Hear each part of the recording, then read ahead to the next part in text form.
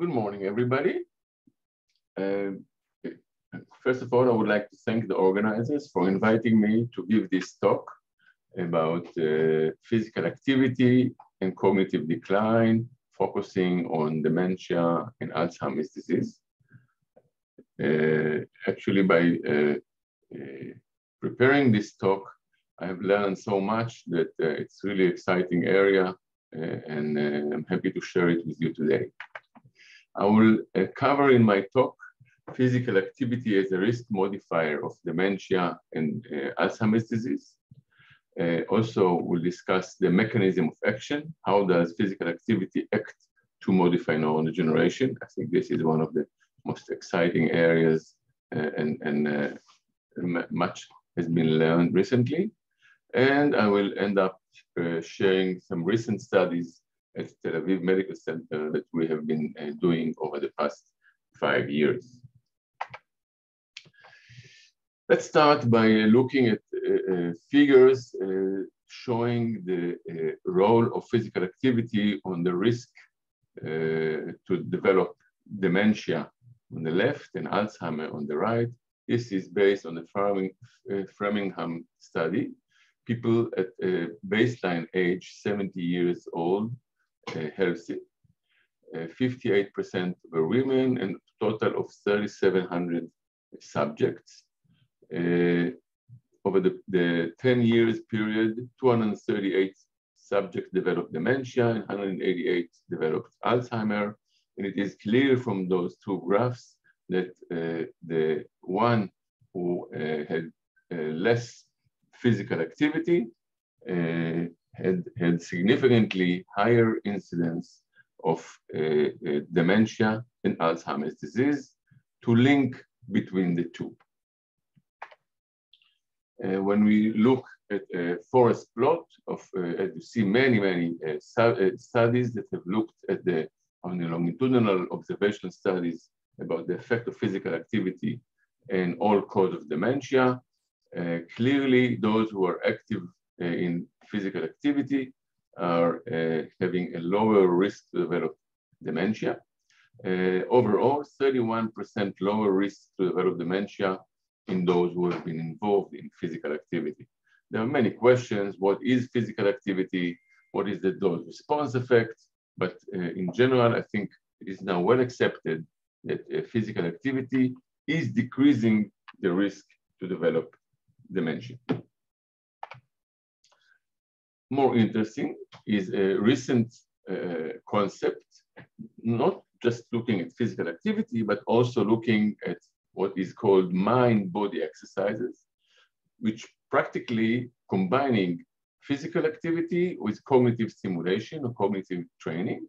And uh, just as an example here on the left is a, um, a, a treadmill with virtual reality.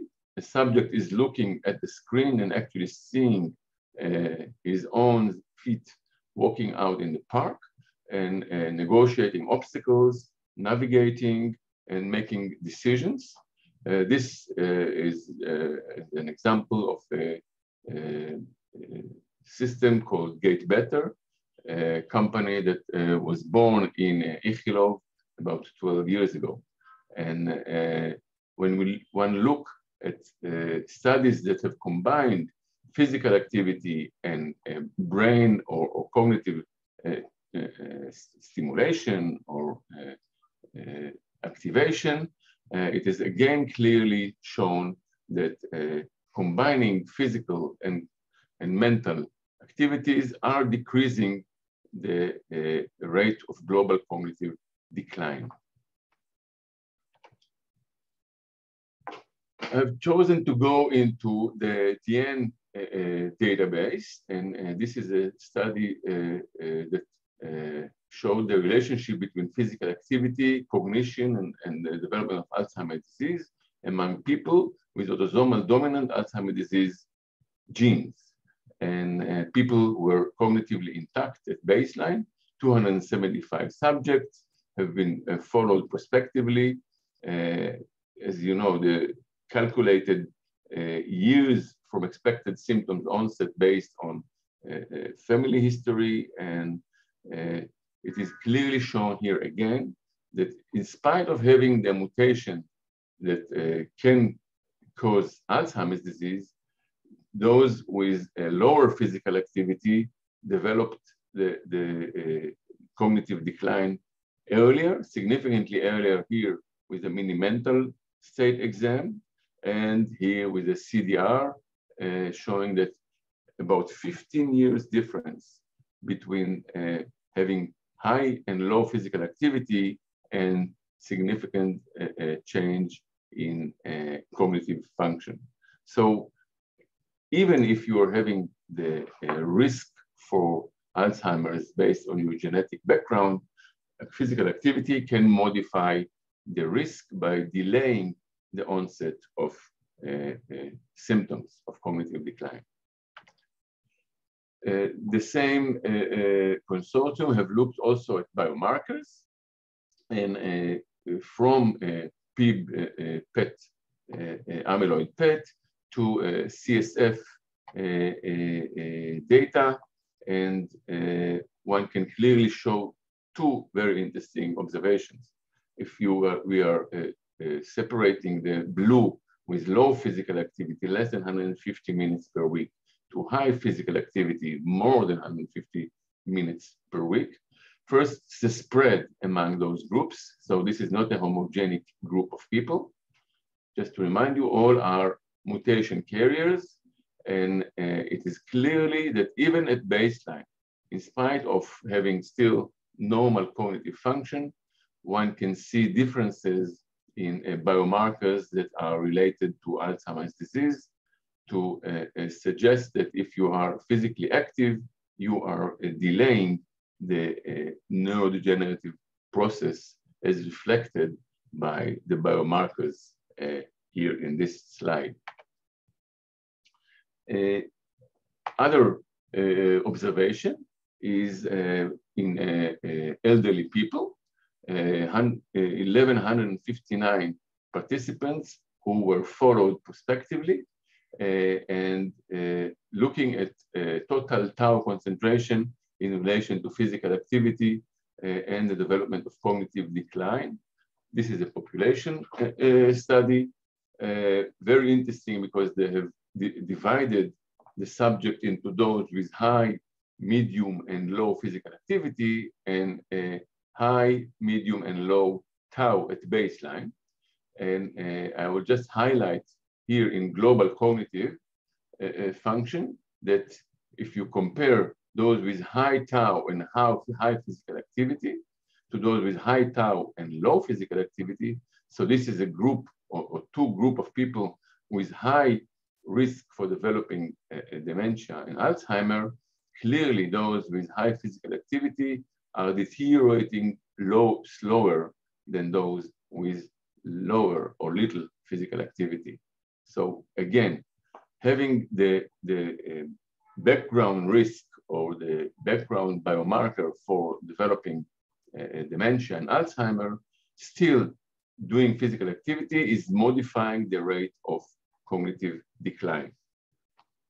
Similarly, but now looking at a neurofilament light chain in the serum, again, looking at high and uh, medium and low physical activity and uh, high and low neurofilaments uh, in serum, one can again see that in spite of uh, having neurofilaments, high neurofilaments in the serum, you, uh, if you are physically active, you are deteriorating slower than if you are inactive.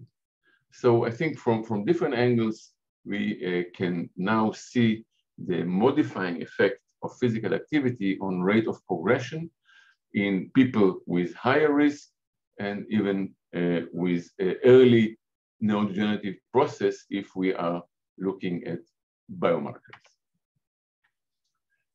going from fluid biomarkers into imaging. This is one of the seminal papers published in PNAS back in 2011, where they took two groups of people. 60 subjects had aerobic exercise and 60 subjects had just stretching, non-aerobic exercise, followed for one year.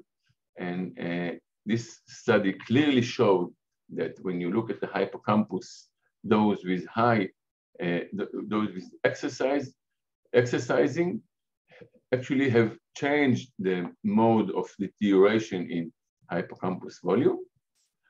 In, uh, uh, this is people who didn't do any exercise, so there's a, a slight decrease in volume, and people with uh, physical activity uh, have uh, changed the, the rate of the, declining in volume. interestingly, when one look at the hippocampus at the anterior and the posterior part, only the anterior part of the hippocampus have had this change in contrast to the posterior. So it's relatively specific effect on a part of the hippocampus.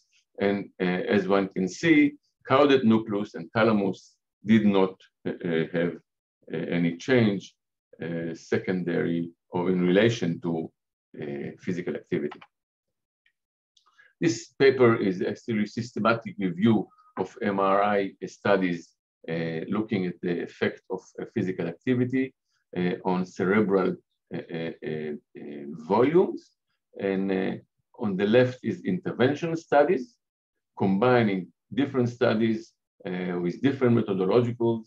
Uh, uh, as one see, there's a large range of quality. And on the right is just the effect of being fit or fitness in general, and looking at Alzheimer and MCI on the left, the blue, and in elderly people on the right. Uh, I will uh, uh, highlight the fact that physical activity, both interventional and general fitness, are having a specific effect in specific areas more than others. So this is not a whole brain effect. It is specifically uh, uh, affecting uh, frontal lobe, hippocampus, precuneus, anterior cingulate. So physical activity is not a general brain health, it has specific effect, at least volumetrically wise, on areas that are more responsive to it. Interestingly, I, I uh, chose to highlight it, that as far as a few studies, but this is one, that have looked at the effect of physical activity on amyloid PET, and this is 117 elderly age 73 who have uh, exercised or just had cognitive stimulation for one year, and there was no effect of uh, physical activity on the uh, uh amyloid in uh, PET studies.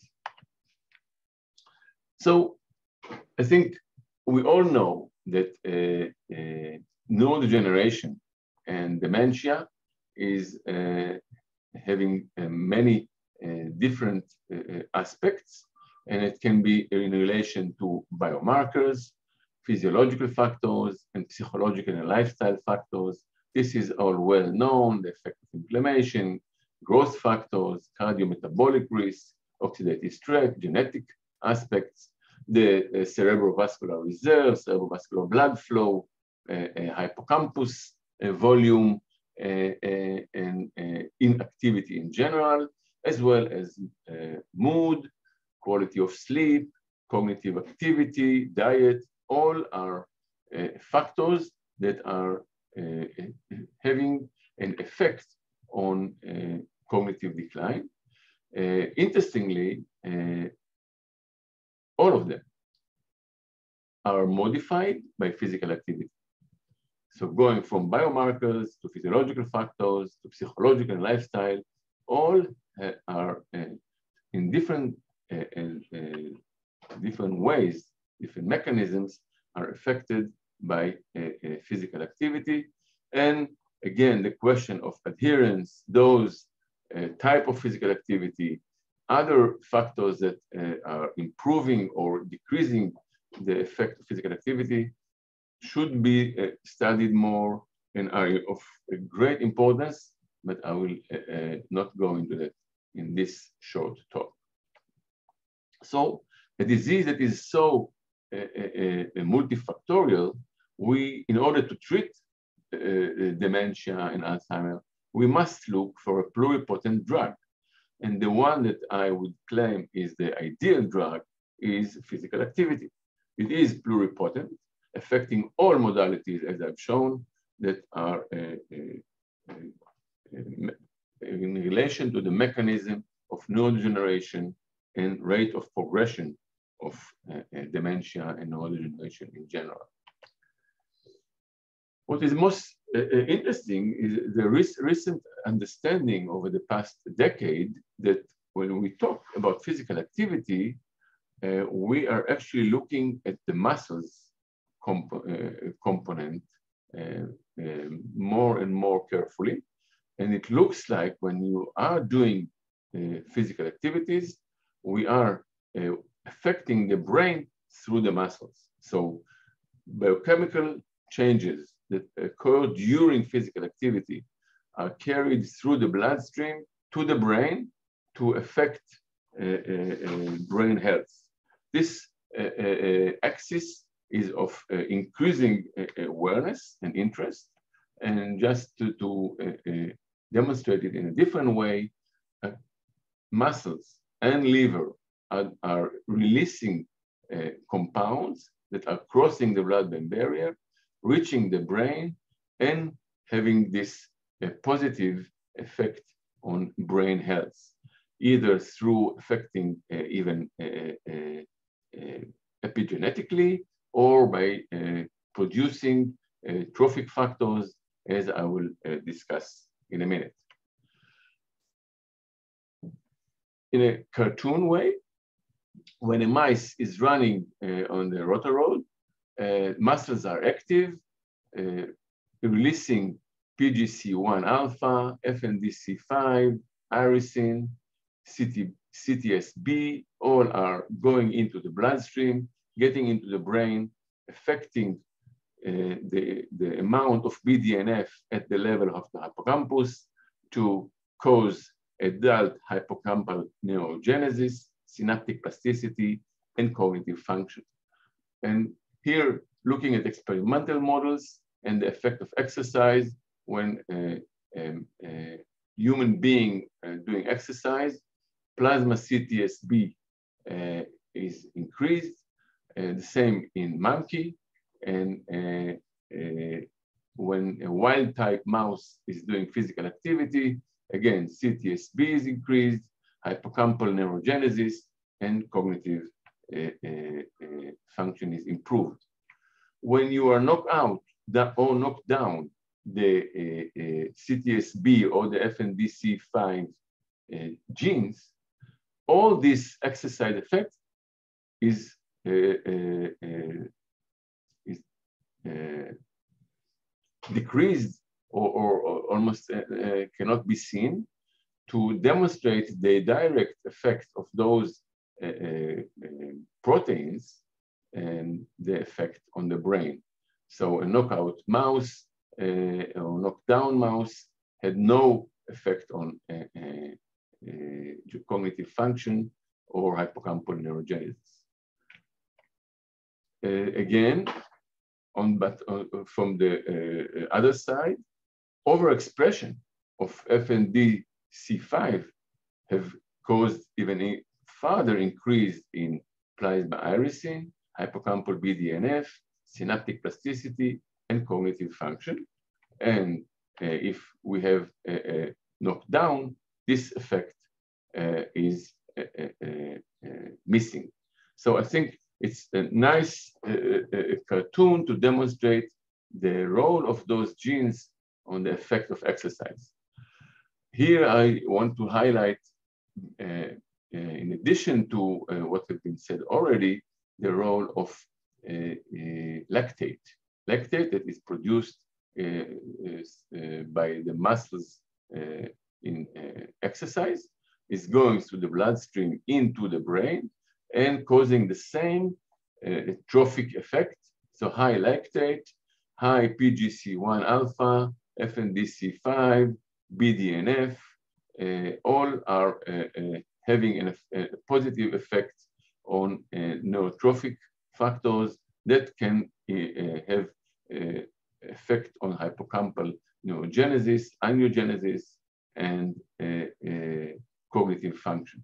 So uh, here, just to, to highlight that if you have a knockout mice of the, the with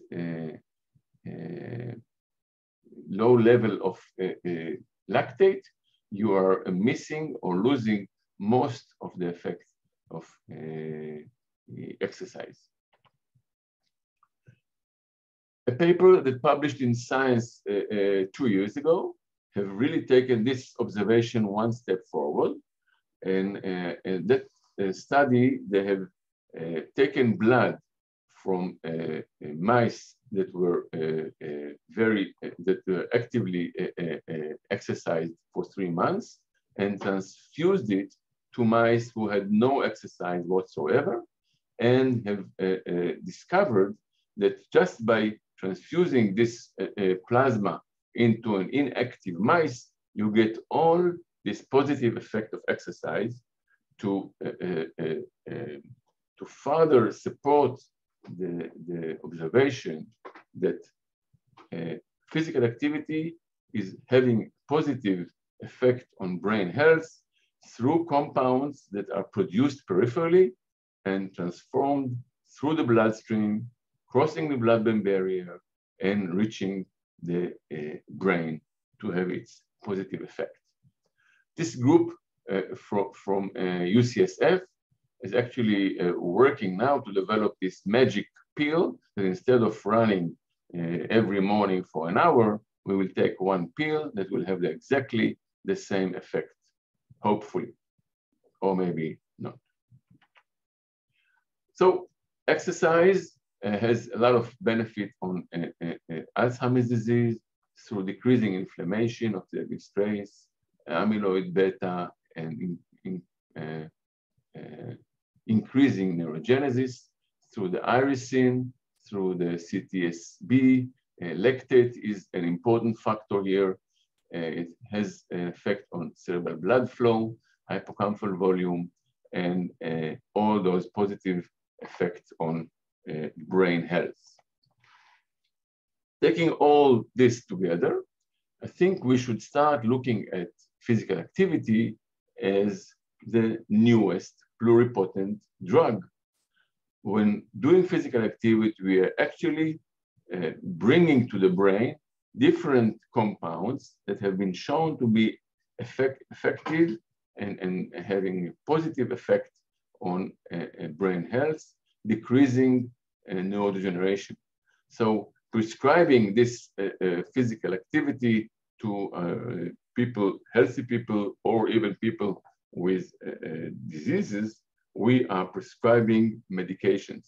And this has to be uh, um, delivered to the general public in a much stronger words. Uh, I think we have the scientific background to support this statement. One of the most interesting question is, is physical activity the same uh, and having all the same effect on the brain? And this is uh, one of those pioneer studies where they look at different type of physical activity, aerobic exercise, resistance exercise, multi-component exercise, and mind-body exercise, effect on global cognition, executive function, and memory. And interestingly, global cognition uh, is improved by all different types of physical activity, but executive function uh, was more sensitive and responded positively to aerobic and resistant exercise. And most interesting, and I would uh, uh, uh, say again, this is preliminary in one of the first uh, studies that have looked at this fascinating question, memory was more uh, uh, sensitive or uh, responsive to, to resistance exercise and not that much to aerobic exercise. So maybe in the future, we will have to tailor the type of physical activity based on what we are trying to treat or what we are trying to modify. If we are uh, uh, focusing on memory, we should uh, be focusing on more resistance type of exercise and uh, with executive function, we should add more aerobic uh, uh, activity to our uh, program. And uh, I chose to uh, end my talk by uh, showing our uh, interest in uh, Tel Aviv Medical Center in this area over the past five years. This is uh, a, a PhD by Tamir Eisenstein and a group led by Yulia Lerner, Talma Hendler, Galit Yogev, Noa Bregman, and Elissa Ash, who, where we tested the effect of home-based exercise Tamir went to uh, the uh, homes of people with either uh, healthy elderly or people with MCI with a bicycle in his car, and they've exercised for uh, 45 minutes three times a week for three months at their home environment. And we looked at the effect of physical activity and general fitness on brain plasticity, cognition reserve, and hippocampal, hippocampus function. Uh, this uh, uh, effort uh, is now having five papers out there. I will highlight three, the maximal aerobic capacity associated with hippocampal cognitive reserve in older adults with amnestic mild cognitive impairment and physical active lifestyle is associated with attenuation of hippocampal dysfunction in cognitively intact older adults. And the neurogenetic, neuro, cognitive plasticity is associated with cardiorespiratory fitness following physical exercise in older adults with amnestic mild cognitive impairment. I think uh, uh, uh, this was a huge effort, but we are uh, uh, uh, contributing to the current knowledge about the role of physical activity in elderly people and in people with MCI, showing the definite positive effect on different aspects of brain health. So uh, this is just a summary of a, a, a, huge effort in our center that aerobic exercise and fitness may promote functional neuronal modification uh, in older adults uh, with MCI. These uh, modification can be expressed in hippocampal and non-hippocampal brain systems and physiological adaptation to aerobic exercise improved cardiorespiratory function may constitute key potential mediators of neurocognitive benefits following exercise in amnestic MCI. And with this, I would like to end up and thank you for your attention.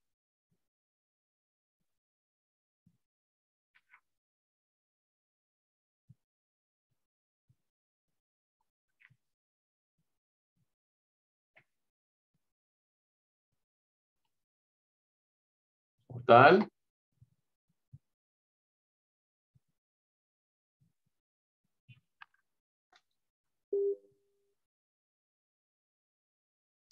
נהלו. אני סיימתי. אני באה.